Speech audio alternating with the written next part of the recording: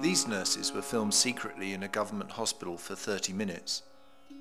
The tray they are using has medicine on it for all the patients on the floor, yet they only have two syringes.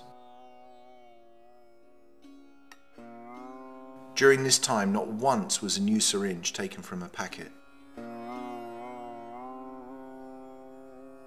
The nurses openly throw the syringes back in the tray, then pick them up again to give the next injection, and not one patient or bystander ever challenges them.